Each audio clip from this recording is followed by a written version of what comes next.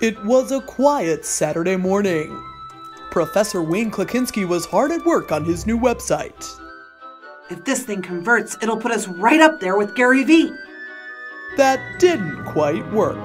Hey, Dad, did you get your website to work? A few more buttons and I'm ready to launch. Then something quite confusing happened.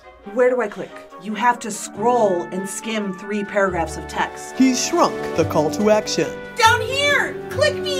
Are you trying to tell me that I have to find your link text in this long paragraph block? So what? Do I click now? Uh, yeah.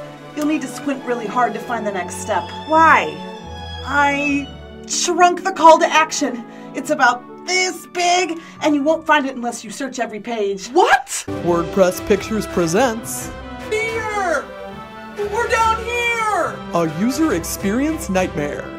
People will click us, right? It's a jungle out there. Oh no, there's a sidebar! No one will ever find us now! Now, while the visitor is looking for what to do next, You just gotta keep your eyes open. people are Xing out and Google is dropping the ranking. No! The bounce rate! Honey, I shrunk the call to action. No! Please! Don't go back to search results! Coming soon to a browser near you.